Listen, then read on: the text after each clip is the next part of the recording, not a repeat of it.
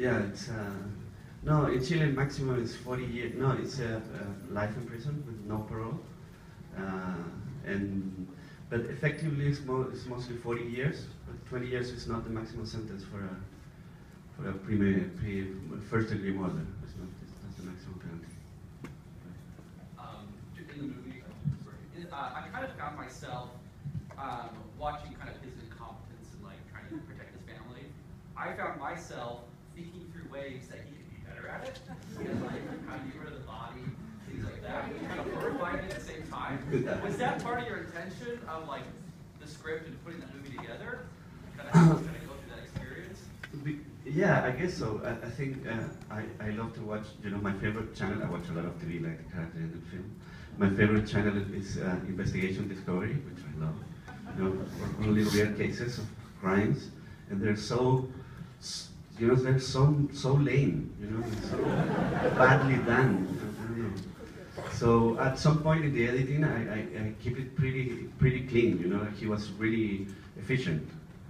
Uh, and then one night I was watching my favorite channel, and, and I saw this the case of this woman who killed his um, her uh, boyfriend, and uh, she killed the boyfriend, and then like uh, he leave it on the floor, you know, like of the apartment, and then she goes to the you know to the um, hardware store to buy a, a saw, and she started you know cutting the body, and then she found a, um, a guy on the, his neighbor on the on, on the stairs, you know, and he said, "What's wrong with you? You look bad." And she said, "Yeah, because I killed my, my, my boyfriend and I'm cutting him off and you know throwing the pieces around the town."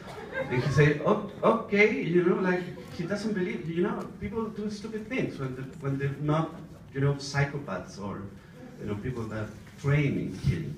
So he was really lame at that, you know. And, and actually, we were we were realizing that while we were doing the shooting, you know, we, we say, how could she move the body? You know, it's easier with a plastic bag because that's the thing he has on hand. He was very handy, and we actually have him doing all the physical work, you know, during the film.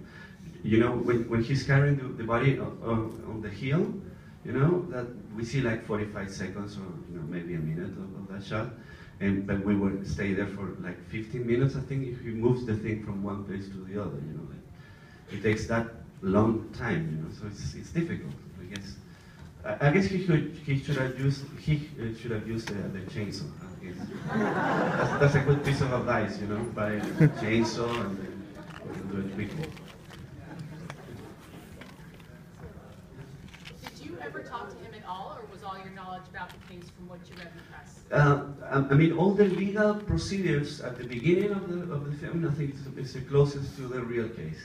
Because the, the family and all the people were actually going into court many times and trying to get a restraining order and everything. The policemen, they don't do anything because uh, that's what happened, you know. They don't, they don't do anything unless there's a crime. And in, in a way, they're right, you know, like, uh, I mean, the guy did, you know, nasty things, but uh, maybe he would be, you know, 50 days on jail or something like that, you know.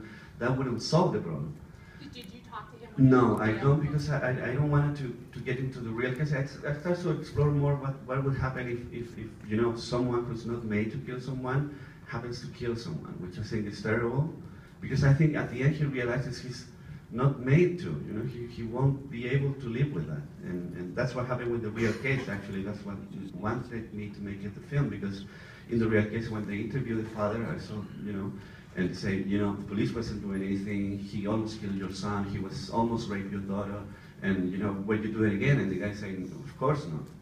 You know, because you have no idea what it is to kill someone.